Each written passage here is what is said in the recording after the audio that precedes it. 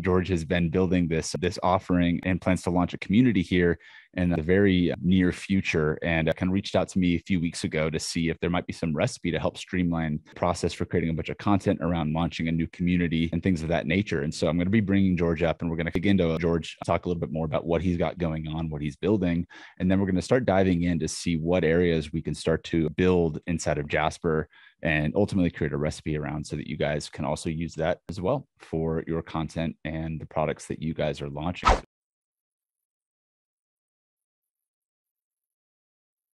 I'm going to open up a chat GPT one also.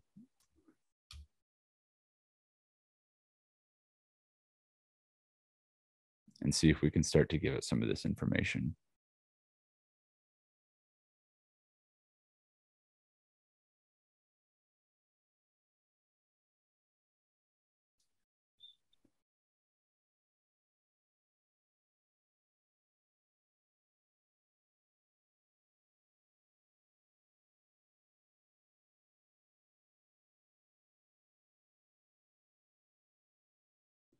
So this is how I've been playing around with Jasper Chat, not Jasper Chat GPT. In terms of look back feature, I feel like Chat GPT can look back like a pretty good amount and it can continue kind of like the thread of a lot of what we're giving it right here.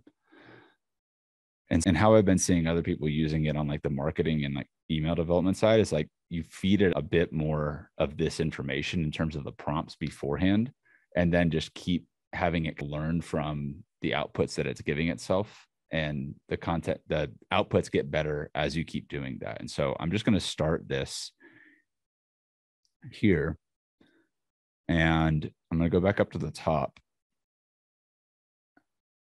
I'm going to add in the context again.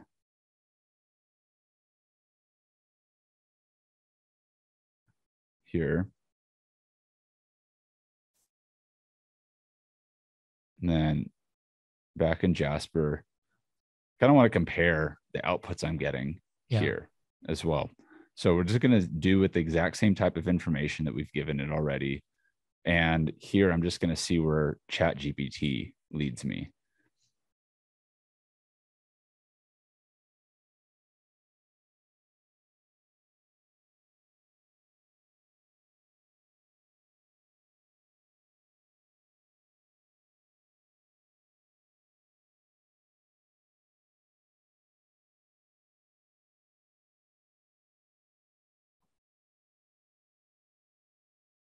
Just for fun, I'm also going to do the exact same inputs to Jasper Chat because I want to see. Because my experience, at least as of late, was that Chat is actually a little bit better and being a little bit more creative right out the gate. And I think we can see that right here.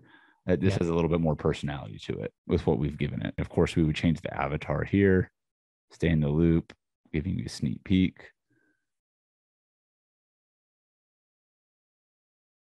In just 10 minutes. I might not use fun, lighthearted. You just edit that out, right? If, if some yeah, of this yeah. stuff yeah. doesn't make sense. So buckle up, space adventure. Let's go blast off success. Yours in orbit.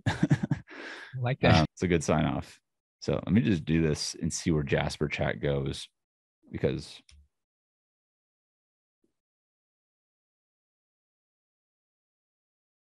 this is great because I'm seeing how easy it would be to blend ideas and wording from Jasper as well as Chat GPT. I find, especially when doing an exercise like this for this sort of content, like you don't have the ability inside of either Chat or GPT to experiment and do the compose and testing these commands a little bit more. And that's why I really like using boss mode for that. But once we've put all of this together, it makes these sort of outputs that much easier to get yeah. Now that let's just say this is the welcome email that I want to use. And does this look like a better welcome email to you, George, versus what we had before? This is what we had initially. Yeah, I think so. You can always combine the two, right? You take the best from one, you throw away the trash yep. from the other. Yep. Yours in orbit. I think that's good. Keep the emoji there. And cool, we've got like a nice solid welcome email.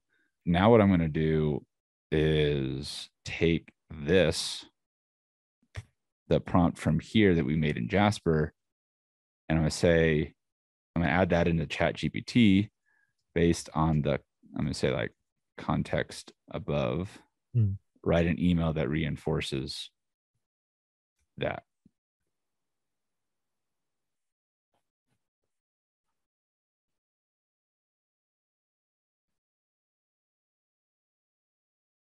Checking in on your journey from the stars. So he's saying, I hope you had a blast learning about the points in the in the micro course. It's giving a little tip, right? You just modify that as you need it. Stay spaced out. so like a little bit more, I think like a little bit more personality as we start to feed it some stuff in Yeah. here. But again, I'm not going to want to keep, I'd rather add this context back into Jasper as I'm building it out. And maybe it's again a mix of what we added right here. So you could say I can get too nitty gritty with it while we're here. So we'll be sending all this content to you, George.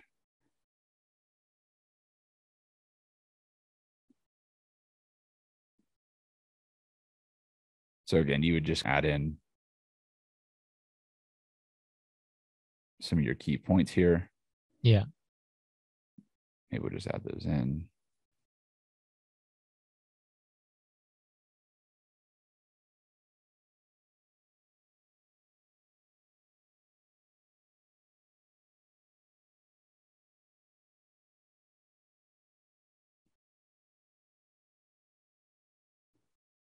Cool. And then again, we come back down to this command.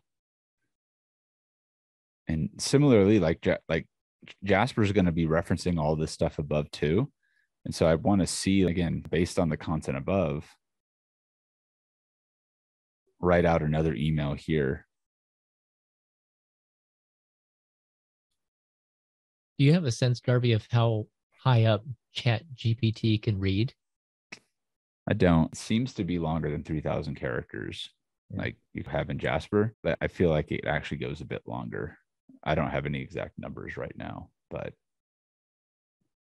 so I was talking to some other guys about how they're using it for like avatar research and Yeah. like they'll feed it a lot of this information up front and then start after going somewhat deep, they'll start to ask some more like specific questions and it the answers only get better the more information you're giving inside of this, like similarly to how do you works with Jasper. So I think here it's going to give you some some like behind the scenes stuff that you would obviously want to modify. We'll see feedback. Avatars already using our resources, getting results.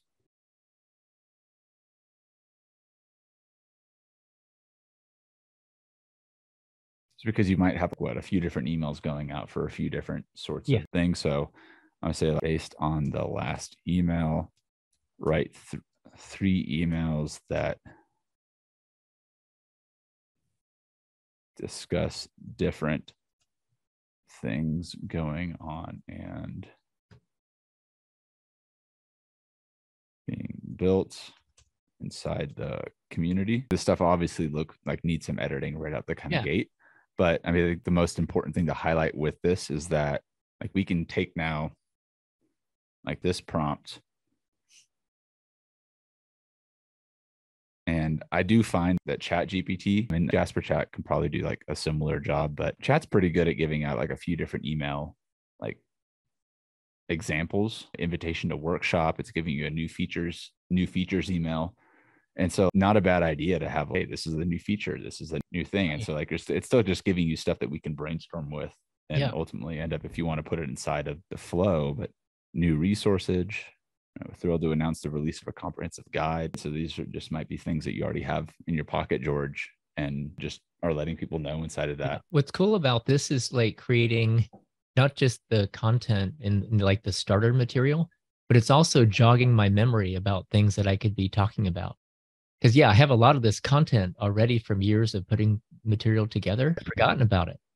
And then seeing Jasper produce what it's producing and Chat GPT bringing up prompts, I'm reminded, oh yeah, I should talk about this. I should talk about that.